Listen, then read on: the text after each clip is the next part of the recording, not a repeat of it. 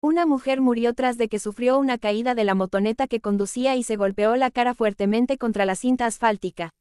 El trágico accidente se registró este domingo, alrededor de las 7.45 de la noche horas, sobre la avenida Héroe de Nacosari y la calle Santa Rosa, en el fraccionamiento La Huerta, justo frente a la unidad habitacional del ejército mexicano, entre Paseo de la Cruz y Adolfo López Mateos.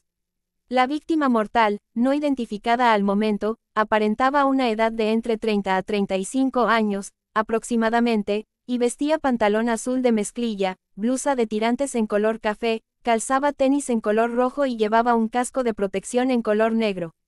Se mató en una motoneta marca Vento, en colores rojo y negro, sin placa de circulación. De acuerdo a las primeras investigaciones realizadas por las autoridades que tomaron conocimiento del hecho, la fémina se desplazaba por Nacosari, en el sentido sur-norte, presumiblemente a velocidad inmoderada. Esto motivó que repentinamente perdiera el control del manubrio y cayera al suelo, pegándose fuertemente en el rostro.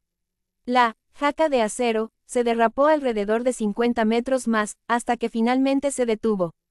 Una vez que recibieron llamadas de auxilio de parte de testigos del accidente, al lugar acudieron paramédicos de la Coordinación Municipal de Protección Civil, pero nada pudieron hacer por la motorista debido a que ya había fallecido.